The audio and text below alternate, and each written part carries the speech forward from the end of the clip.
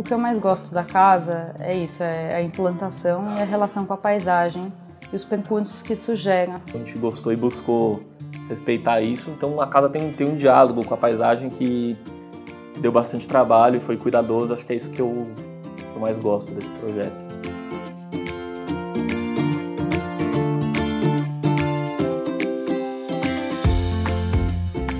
E eles queriam uh, demolir o chalé construir uma casa nova, uh, uma casa com três quartos. O Patamaré fica uma área vazia, um estacionamento, uma área um pouco sem uso.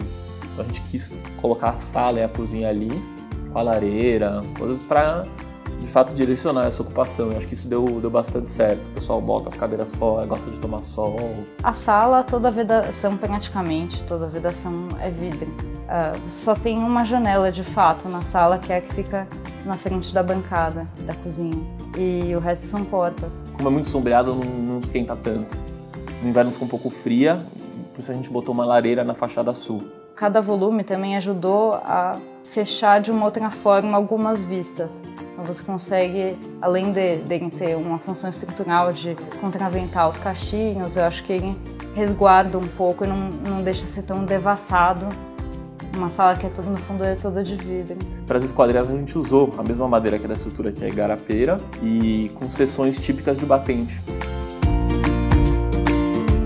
A gente quis usar esse bloco cerâmico, que era uma coisa que não era tão, tão fácil de encontrar lá, mas tinha uma, uma vontade de usar uma, uma cor, cores quentes, tons que puxem para o vermelho, tudo, porque as cores da natureza são, são frias um pouco, então era fazer o verde parecer mais verde. Uma coisa que eu acho, que eu acho muito bacana, que foi possível com o uso do bloco cerâmico, são os nichos que a gente fez na parede.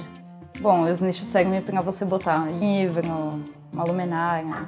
As telhas são, são telhas metálicas, era um material enfim, que dá um é uma telha tipo sanduíche, é um material que dá um bom isolamento térmico, que é, é super leve e ela é um material que ia agilizar a construção e não ia sobrecarregar a estrutura de madeira. Como o telhado é inclinado e acompanha a pendente do terreno, você tem situações sempre diferentes dentro da casa. Então acho que isso gera um espaço rico e ao mesmo tempo em continuidade, né? O piso tem essa coisa de ser uma cerâmica mais queimada e a queima dá tons diferentes também. Esse pedrisco branco que tem na, na frente da casa, também a gente escolheu não, não fazer uma iluminação noturna no jardim forte. Nas noites de, enfim, de lua cheia, ou que tem, que tem um pouco mais de luz no céu, você consegue enxergar aquilo ficar púrpura.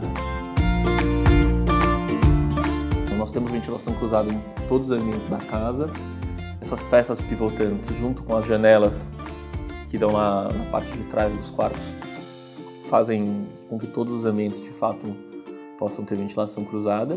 Que dentro dos quadros você controla com um blackout, né, uma cortina, rolou. E os banheiros têm ventilação permanente. Então, mesmo se você não quiser abrir às vezes a janela do quarto, abrindo a porta do quarto para o banheiro, você também permite que a ventilação cruze. Um trecho da casa que piso entra um pouco na topografia, então os quartos estão um pouco semi-enterrados, uma coisa um pouco mais escura, mais aconchegante, com uma condição térmica melhor também, porque mais fechado, as paredes têm uma inércia térmica adequada.